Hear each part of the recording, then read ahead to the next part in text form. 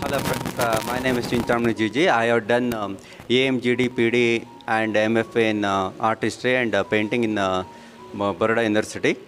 Now I am a professionally uh, artist. Different type of medias I have uh, done in my earlier works. First 22 years I was a practitioner and in, uh, different type of canvases and different type of modern technology and everything uh, I have done it.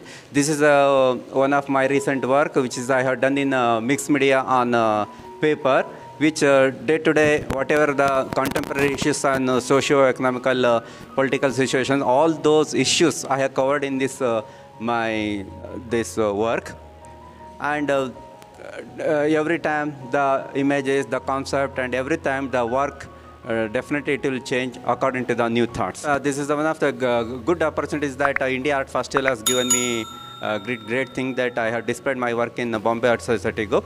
And every year it, it will happen uh, like that mr rajendra patel is saying that it is a very good opportunity for bengaloreans that we can come and we can visit this uh, excellent uh, festival